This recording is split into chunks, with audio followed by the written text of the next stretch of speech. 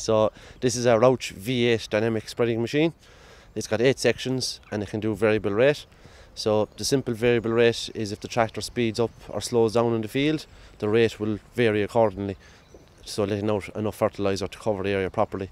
It can also be used with prescription maps. So if you have prescription maps for your field, it can put in the variable rate for that as well. The Trimble CFX 750 is controlling the spreader from the tractor, uh, fully GPS controlled in uh, in and out of the headland, and also section control when you come into your angles in the field, which inevitably happens in Ireland.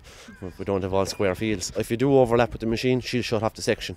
Basically, uh, if you spread too wide, obviously you can't cover that. But once you once you're keeping to the line, or if you're slightly narrower or going to angles, it will shut off for you.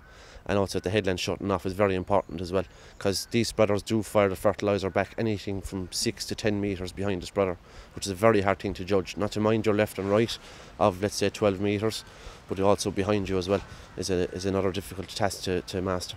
It's both time saving and uh, less of a requirement for a skilled operator in the tractor so uh, everyone knows these it's very hard to get men to drive tractors um, but the farm's getting bigger, more manpower is needed. They're not all as skilled as everyone wants them to be. So with a system like this, it's more um, easier to use. So once you set him up in the field, he can literally drive the field any way he wants. And once he shades it in, it'll be spread properly. So it is peace of mind that way as well. Well, it makes life an awful lot easier. When you go into the field, all you would do to set your race is uh, type it into the screen. You drive around the field, put in your boundary, and when you come to the headland it cuts off automatically and when you pull in again on automatically again.